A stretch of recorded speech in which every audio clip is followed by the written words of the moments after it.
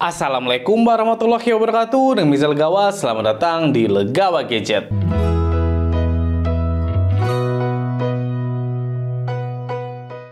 Sebelumnya jangan lupa untuk klik tombol subscribe untuk support channel Legawa Gadget. Terima kasih pada video kali ini, saya akan unboxing smartphone penutup dari Redmi Note 12 series. Yang di mana sebelumnya kita sudah unboxing Redmi Note 12 yang biasa, kemudian Redmi Note 12 yang Pro 5G, dan ini adalah langsung aja kita sambut Redmi Note 12 Pro yang 4G. Ini dia box dari Redmi Note 12 Pro yang 4G, yang di mana saya rasa penjualannya cukup telat ya, soalnya untuk Redmi Note 12 series lainnya itu sudah dijual sekitar satu bulan yang lalu. Untuk masalah harga, ini juga cukup mahal, soalnya untuk yang RAM 6GB harganya ada di kisaran Rp3.500.000. Sedangkan untuk yang RAM 8GB itu harganya ada di kisaran 4 juta rupiah. Sehingga untuk naikkan RAM 2GB saja kita harus nambah sekitar 500 ribu rupiah. Ya saya rasa itu cukup mahal. Kemudian kita lihat untuk boxnya ini overall masih mirip banget sama Redmi Note 12 series lainnya. Jadi overall berwarna putih dan bagian depannya ada gambar smartphone-nya yang di mana saya belinya warna biru tapi ini warna di boxnya uh, abu-abu jadinya dia tidak sesuai Kemudian di sini ada tulisannya Redmi Note 12 Pro dan tidak ada 5G-nya ya di sini soalnya ini 4G. Bagian kanannya sama Redmi Note 12 Pro, bagian kirinya juga, bawahnya polosan dan atasnya juga. Sekarang kita lihat untuk selling point ya dari smartphone ini. Yang pertama dia kameranya itu gede banget ya, jadi di 108 megapiksel dan ini tidak ada OIS-nya, jadi cukup disayangkan soalnya juga nggak ada uh, keterangannya di sini. Kemudian untuk ngecasnya sudah cukup ngebut di 67 watt dengan baterai 5000 mAh dan layarnya sudah uh, AMOLED di 120 Hz. Dan ini dia yang cukup banyak diperdebatkan soalnya chipsetnya uh, cukup lawas yaitu Snapdragon 732G. Yang di mana dia chipsetnya juga sama ya yang kayak dipakai Redmi Note 10 Pro. Jadi sudah ada dua generasi tapi chipsetnya ternyata masih sama. Oke langsung aja kita unboxing dulu kira-kira bagaimana smartphone-nya.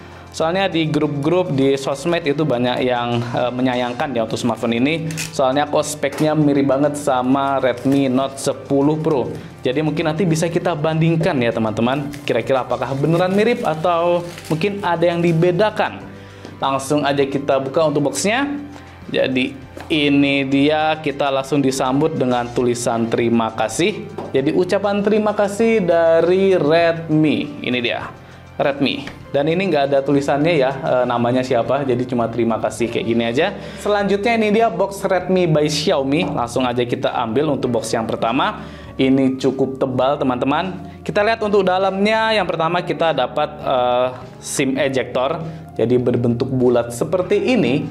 Selanjutnya di bagian dalamnya kita mendapatkan kitab-kitab yang di mana yang pertama ini adalah panduan cepatnya jadi sangat tipis ya cuma di satu lembar kayak gini cepet banget. Dan selanjutnya ini dia kartu garansi. Yang di mana tuh garansinya dia di 15 bulan untuk perangkatnya. Jadinya mantap untuk garansi dari Xiaomi itu di 15 bulan. Satu tahun lebih tiga bulan lumayan banget. Dan tidak lupa kita juga mendapatkan silikon case. Ini yang paling ditunggu-tunggu. Ya, jadi untuk silikon case-nya kualitasnya sudah bagus soalnya tebal dan untuk bagian bezelnya dia mengotak ya teman-teman. Jadinya sepertinya nanti feel smartphone-nya bakal mengotak. Untuk bagian kameranya sudah ada bump kameranya bisa dilihat. Jadinya sudah terproteksi dengan sangat baik. Oke, dan untuk bagian uh, portnya juga sudah ada pelindungnya, ciri khas banget dari Xiaomi. Oke, mantap. Kita lanjut lagi, kita rapikan juga. Selanjutnya kita langsung disambut oleh smartphone-nya. Ini dia Redmi Note 12 Pro. Oke, langsung aja kita ambil dulu untuk smartphone-nya berwarna biru. Wow, ini dia teman-teman, birunya cukup terlihat gelap di sini. Jadi biru tua mungkin. Langsung aja kita buka. Dan ini dia untuk smartphone-nya. Wah, ternyata mantap juga. Untuk feel-nya juga rasa premium teman-teman kita ambil dulu untuk stikernya. Kita kletek supaya desainnya lebih maksimal. Dan ini dia untuk desain dari Redmi Note 12 Pro. Ya ini sepertinya dari kaca ya. Saya kurang tahu ini kaca atau enggak. Mungkin bisa tulis di kolom komentar. Cuma untuk build quality-nya ini sudah solid banget. Dan feelnya premium ya teman-teman. Jadi warna birunya ternyata birunya metalik kayak gini. Dan untuk bagian uh, kameranya juga saya rasa ini bagus. Jadi metalik juga overall ini metalik doff yang ini metaliknya enggak doff tapi jadinya kerasa ada bedanya. Feelnya premium good job. Karena untuk bagian bezelnya ternyata juga berwarna biru. Ini keren jadinya selaras ya sama warnanya. Overall untuk teman gadget yang mau feelnya premium bisa pilih yang warna biru ini Kelas pegang juga sudah solid ya. Ini ciri khasnya kayak Redmi Note 10 Pro, dia juga solid kayak gini, jadi masih mirip-mirip. Tapi memang untuk kualitas Redmi harusnya sudah tidak diragukan lagi. Kemudian kita lihat untuk detailnya, yang pertama nih di bagian bawahnya ada tulisannya Redmi dan bagian kameranya ini uh, desainnya agak standar ya. Tapi kalau dilihat ternyata cantik juga, soalnya lubangnya kecil-kecil kayak gini teman-teman. Jadi overall ternyata keren ya. Soalnya saya lihat di gambar itu kayaknya agak kelihatan jadul, tapi kalau udah lihat langsung ternyata bagus juga. Ini mantap 108 megapiksel. Kemudian untuk di bagian bawahnya ini ada untuk SIM tray-nya. Kemudian ada Type C, mikrofon dan speaker. Untuk bagian kanan ini ada tombol on off yang juga berfungsi sebagai fingerprint. Jadi masih gabung sama on off-nya dan kalau dipencet sudah kliki, mantap. Kemudian uh, volume up and down yang sudah kliki juga enak dipencet. Di bagian atasnya ini ada infrared blaster, ada mikrofon dan speaker. Jadi dia dua speaker. Kemudian di ketinggalan ada jack audio 3,5 mm di bagian atasnya ini. Jadi lengkap ya teman-teman. Untuk bagian kirinya dia polosan. Dan untuk bagian depannya ini sudah ada uh, pelindung layarnya ya teman-teman. Jadi ada pelindung layar dari plastik sehingga tidak ada PR. Dan kalau nggak salah dia juga sudah Corning Gorilla Glass 5. Ya kayaknya bagian belakangnya juga Gorilla Glass 5 kalau nggak salah. Jadi untuk feel kemudian uh, uh, build quality-nya itu sudah solid dan premium. Ini mantap. Di harga 3 jutaan masih oke okay lah untuk ngelihat uh, fisiknya ini ya teman-teman. Kemudian kita lanjut lagi. Dan di sini kita dapat charger yang cukup ngebut teman-teman di 67 watt dan ini adalah desain yang terbaru dari Xiaomi. Jadi tulisannya kayak gini ya, besar 67W. Desain by Xiaomi, mantap. Jadi kita sudah nggak usah beli charger lagi. Ini sudah 67 watt, jadi harusnya udah ngebut. Nggak sampai 2 jam, harusnya 5000 mAh sudah penuh. Dan terakhir kita mendapatkan ini dia, kabel data yang pastinya sudah Type C. Dan ini kabelnya tebel banget ya teman-teman. Jadinya kualitasnya harusnya tidak diragukan lagi. Oke. Okay. Ya, untuk masalah fisik saya rasa di sini cukup positif ya di Redmi Note 12 Pro yang 4G. Soalnya feelnya cukup premium, tapi nggak tahu untuk bagian dalamnya kayak gimana. Soalnya nanti kita uh, review singkat. Coba kita hidupkan dulu. Dan ini kalau kita pasang untuk silikon case-nya. Oh, masih kerasa premium ya teman-teman. Jadi bagus lah untuk bagian desainnya saya suka. Kerasa simple tapi premium gitu. Oke, sekarang kita tunggu dulu untuk pengaturan dari Redmi Note 12 Pro 4G. Ini dia teman awal dari Redmi Note 12 Pro 4G. Ini mana saya rasa untuk bagian layar kok ini warnanya agak kurang gonjreng ya, padahal sudah AMOLED. Sepertinya ini berkat wallpapernya yang warnanya uh, oranye agak pudar gitu ya, jadinya kurang pekat.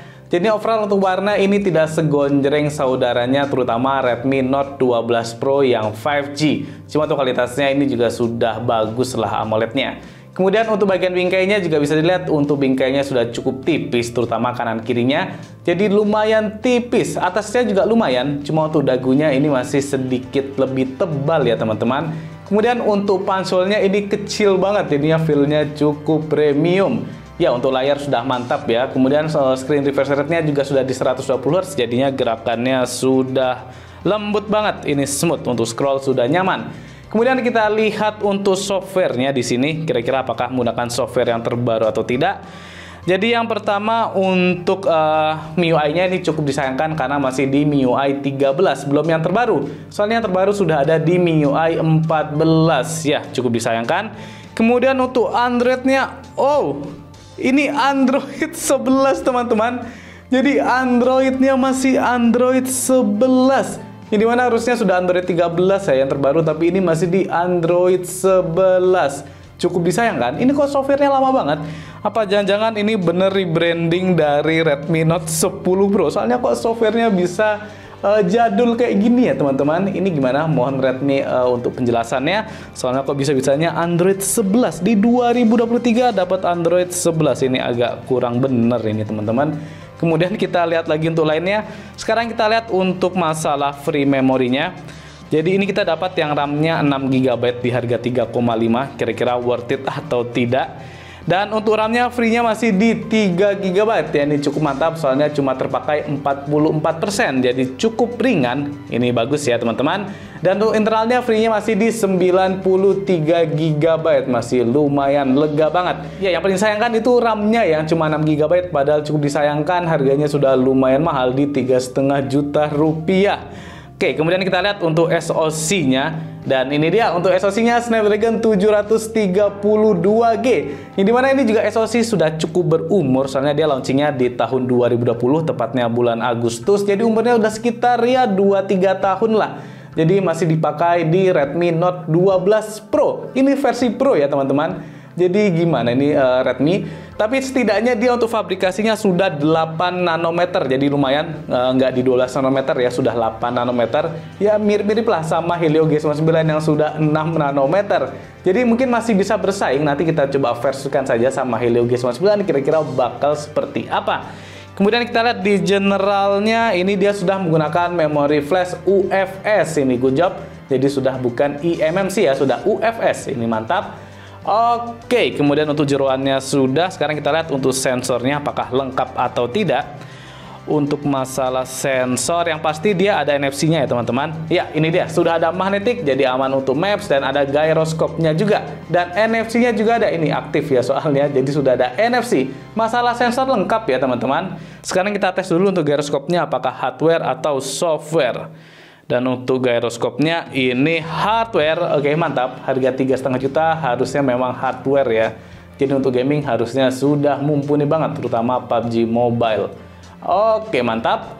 Kemudian kita lanjut lagi, kita lihat di sektor kamera. Soalnya untuk kameranya ini cukup dibanggakan ya oleh Redmi. Katanya untuk konten kreator, kira-kira bakal seperti apa untuk kameranya. Dan ini dia untuk tampilannya masih seperti uh, Redmi pada umumnya, soalnya wajar ya dia menggunakan MIUI 13 dan Android 11, jadinya nggak yang terbaru. Ini ada AI di sini, jadi kita bisa hidupkan dan aktifkan, dan ada HDR-nya. Saya coba dulu HDR-nya. Biasanya kalau di Redmi itu kalau kita keluar nanti HDR-nya tiba-tiba mati sendiri. Ntar kita coba masuk lagi. Ya, dan di sini HDR-nya masih hidup ya, mantap. Jadi biasanya untuk di Redmi atau Xiaomi biasanya HDR-nya suka mati sendiri ya teman-teman. Kemudian ini dia untuk tampilan uh, kameranya, jadi dia ada ultra wide di sini, ini mantap dan ada yang normalnya. Kemudian ada mode portrait, ini mode portrait dan untuk bokehnya bisa kita atur untuk bukaannya. Kemudian kita lihat lagi ada mode malam. Nah, ini dia mode malam dan mode malamnya juga bisa kita pakai di lensa ultra wide-nya juga. Jadi sudah support ini good job. Dan kita lihat di more untuk mode ada panorama, long exposure, ada short video, time lapse, dan ini ada mode 108 megapiksel. Ya, saya rasa untuk fiturnya ini cukup minim ya untuk di kameranya, padahal ini seri Pro dan cukup dibanggakan. Nah, ini dia untuk 108 megapikselnya. Ini gede banget, teman-teman. Oke, kemudian ini tidak lupa ada mode Pro di paling kiri. Jadi bukan di more ya, tapi di paling kiri ada mode Pro-nya. Yang di mana kita lihat untuk white balance-nya ini bisa kita atur manual untuk Kelvin-nya, kemudian fokusnya juga bisa kita atur manual. Untuk shutter speed dia bisa sampai di 30 detik teman-teman, jadi ini bisa lama banget, ini mantap. Kemudian untuk ISO-nya maksimal bisa sampai di 6400 juga sudah cukup tinggi. Ya untuk masalah foto saya rasa ini sudah oke okay ya. Cuma mungkin untuk fiturnya masih agak kurang. Kemudian kita ke video. Nah, ini dia untuk videonya. Oh, sebentar. Untuk video Hmm, ya sama ya warnanya ya. Jadi kok saya lihat tadi warnanya agak kekuningan saat ke video, tapi ternyata di fotonya juga sama. Jadi overall warnanya mirip-mirip. Dan ini dia untuk videonya yang pertama kita lihat dulu untuk pengaturannya. Jadi bisa sampai di 1080p 60 fps. Ini good job. Jadi gerakannya sudah mantap ya di 60 fps dan maksimal bisa sampai di 4K 30 fps. Wow, ini gede banget. Nah, ini dia di 4K. Dan tidak lupa juga ada pengaturan stabilisasinya di sini. Jadi sudah ada AIS-nya. Steady video. Oke, mantap. Dan untuk AIS-nya dia maksimal cuma bisa di 1080p 30 fps. Jadi terbatas ya, teman-teman tapi setidaknya sudah ada stabilisasinya. Oke. Okay.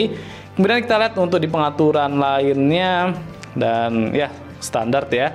Jadi untuk video bisa sampai 4K dan ada stabilisasi dan 60 fps. Good job.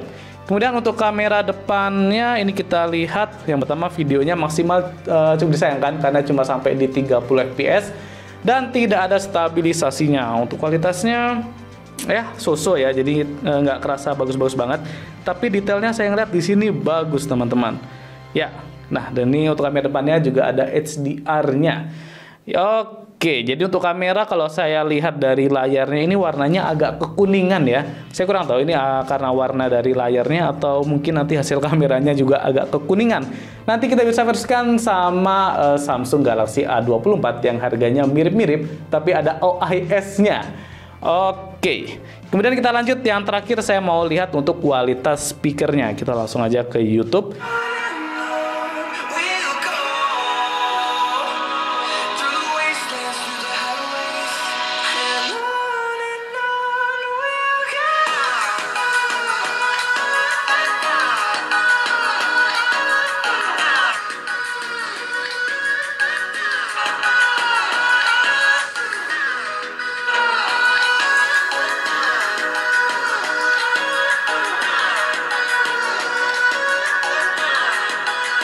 Ya, untuk masalah speaker saya rasa ini sudah mantap soalnya suaranya bagus, separasinya masih kerasa dan bassnya juga ada. Cuma untuk masalah uh, balance-nya ini masih agak kurang, jadi bagian atasnya masih lebih pelan ya dan cukup terasa pelan ya dibandingkan yang bagian bawah ini. Cuma untuk overall kualitasnya sudah bagus. Oke, cukup sekian ya untuk review singkat dari Redmi Note 12 Pro yang 4G. Gimana menurut teman-teman gadget semua? Saya rasa uh, di harga tiga setengah juta untuk di tahun 2023 itu cuma dapat RAM 6 GB, kemudian chipsetnya agak lawas, dan yang paling saya sangka untuk softwarenya itu kok jadul banget, Android 11. Jadinya saya agak susah ya untuk rekomendasiin smartphone ini untuk teman-teman gadget semua. Cuma kalau untuk masalah desain ini sudah keren ya, apalagi warna birunya ini keren banget. Jadi biru metalik seperti ini dan yang cukup disayangkan ternyata uh, cukup fingerprint magnet. Jadi sesuaikan saja dengan selera teman-teman gadget dan kebutuhannya. Mungkin kalau memang sudah menanti-nanti smartphone ini boleh banget lah dibeli soalnya sudah oke okay lah. Cuma sayang sayangkan untuk RAM 6 GB ini kok di tiga setengah kalau kita tambah 500 ribu baru dapat 8 GB. Oke cukup sekian untuk gadget unboxing dari Redmi Note 12 Pro yang 4G. Apabila ada saran boleh banget tulis di kolom komentar. Jangan lupa juga untuk subscribe channel Gal Gadget supaya bisa semangat lagi buat konten. Saya Mirzal pamit. Wassalamualaikum warahmatullahi wabarakatuh.